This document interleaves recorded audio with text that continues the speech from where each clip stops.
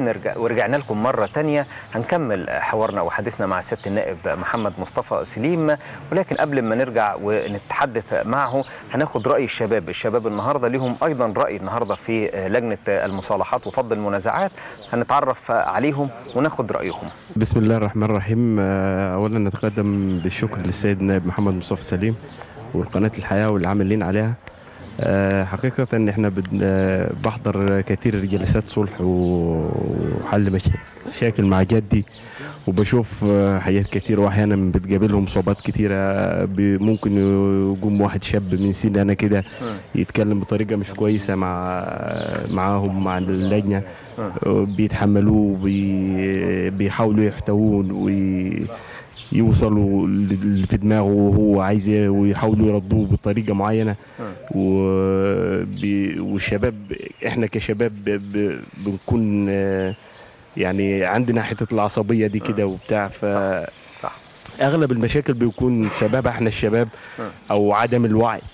الشباب اللي هي مش فاهمة أنا ممكن كراجل بحضر مثلا مع أجدادي وأبهاتي في الجلسات بشوف الإنسان وهو مزنوق أثناء المشكلة آه لو رجعته بالزمن الزمن بيه لورا مش هيعمل مشكلة مش هيحط نفسه في المأزق اللي هو فيه. آه. فيا ريت كل الشباب آه يكون حليم كده ويحاول يتعلم من أبوه ويتعلم من جده ويتعلم من عمه ويكون في برضه حتة الخضوع للكبير. يعني ممكن مثلا أنا أكون بعمل مشكلة في الشارع لو لقيت واحد جاي عليا مثلا وبيحاول يهديني إن أنا مثلا ما أعملش المشكلة أو أرجع اللي أنا بعمله. ما لازم اخضع ليه حتى لو اضطر إن هو مثلا يضربني قدام الناس يا ابني غلط كده وبتاع لازم الواحد يكون نمشي زي ما ماشيين الكبار بتوعنا أبهاتنا وجداد وجدودنا هنرتاح إن شاء الله بإذن الله. بشكرك شكرا جزيلا. بسم الله الرحمن الرحيم. اولا نتقدم بالشكر للسيد النائب محمد مصطفى سليم ولاسره البرنامج والقناة الحياة. إحنا طبعا بنروح مع اباتنا والقعدات بتاعت الصلح والجلسات وبنتعلم منهم ونستفاد من خبرتهم. وفي شباب إحنا بنتحاور معها إحنا بننبه عنهم إن هم بيتعبوا من الكلام الكتير مع الناس وكده. في شباب إحنا بنتكلم معها وبنحاول نقنعها وبنقوم بدورنا معاهم مساعدين وبنستفاد من خبرتهم. نشكر الأمن وكالات الأمن طبعا بتساعد بتساعدنا وبتساعد اللجنة في الصلح وفي الجلسات وبتوفر كل سبل الأمن ولو في حد في السجن بتوفر مقابلات ليه وجلسات معاه ونقنعه وكل حاجة. تمام. وشكرا. أشكرك فندم. اتفضل بسم الله الرحمن الرحيم. والصلاة والسلام على أشرف الخلق سيدنا محمد صلى الله عليه وسلم. نشكر سيادة النائب محمد مصطفى سليم ونشكر القناة وأسرة البرنامج جميعا. نحن إحنا بنحضر مع والدي بحضر مع والدي ومع جدودي. في فض المنازعات بيبقى في فض المنازعات في الترغيب والترهيب. أنت بتخوف صاحب المشكلة من العواقب اللي بعد كده من الدم والسجن وتخريب البيوت. وفي نفس الوقت لما تيجي تبص لأي مشكلة بتلاقيها حاصلة بين عيلتين أو بين شابين تلاقي ليهم علاقة قبل كده. يعني مثلا اتنين جيران في بيت اتنين جيران في غيط في مز... في زرعة. آه شباب مع بعض في المدارس.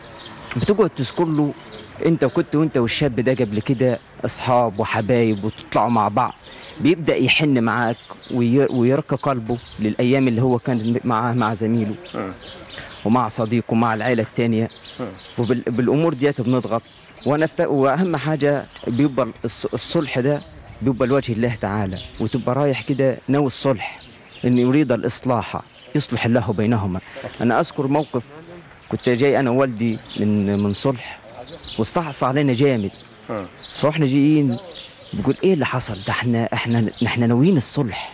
يعني الموضوع ما مشاش معانا في حاجة غلط. بفضل الله تعالى ربنا كرمنا والموضوع مشى والصلح تم والناس اتبسطت كلها ورجع الأمن تاني في البلاد. ويعني هي صراحة أهم حاجة الصلح والأمن والأمان يكون بين الناس جميعا يعني. وربنا يقدرنا جميعا. ان إحنا نحوش الحتة العصبية اللي بين الناس دياتي.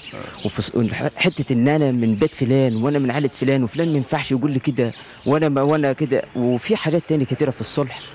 يعني مثلا أنت كنت بتلاقي عائلة مضروب منها واحد وعيلة التانية ما اتضربش منها. فعشان تصلح بينهم بتيجي تشوف حلول على أساس تراضيهم. زي حلول الكفن ده.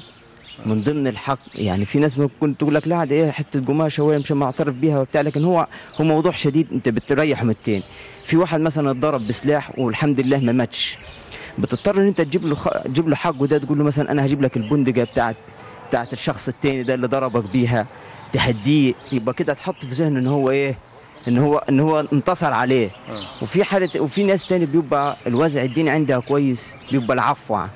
ده العفو ده من من من, اللي تعلمناه من رسول الله صلى الله عليه وسلم حينما فتح مكة فقال له فقال له أهله ما ما ظنك أنت فاعل بنا؟ قال ابن اخ ك- خير آه، اخ كريم ابن اخ كريم فاذهبوا فأنتم الطلقاء. فالعفو والعفو عند المقدرة ون- وكنا بنقول للناس العفو ده مش بيبقى من الضعيف.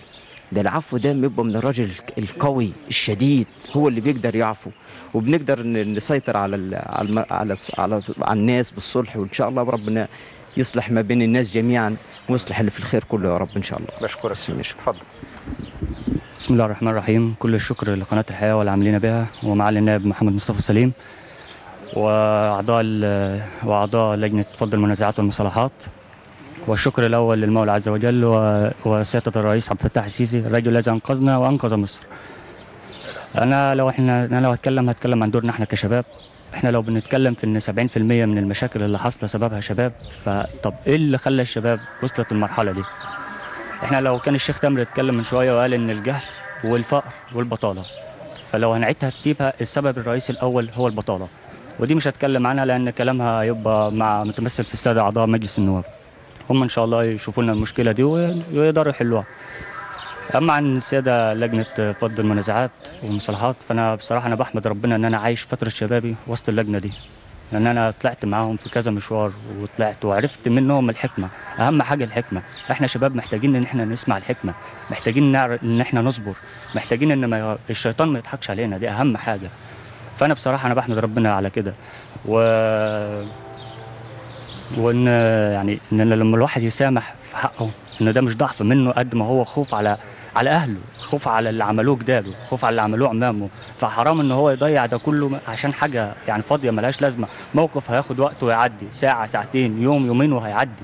أهم حاجة إن الواحد لما بيسامح في حقه ما يكونش داخل في دماغه إن ده ضعف منه. السماح والعفو ده ربنا والرسول عليه الصلاة والسلام أوصونا بيه. وإن ده عمره ما يبقى ضعف مننا. هو كل القصة بس ده خوف على أهلنا. وحرام إن إحنا كشباب نضيع اللي عملوه. وإن شاء الله ربنا ينعم علينا بالستر إن شاء الله. أنا بشكر حضراتكم جميعا على كل اللي حضراتكم قلتوه وعلى كل الجهود والمجهودات اللي أنتم بتعملوها في فض المنازعات والمصالحات بين الأهالي قبل آه، ما تتفاقم المشكلة والنار تبدأ تاكل آه، البيوت ويسقط العديد من الضحايا. برجع لسيادة النائب.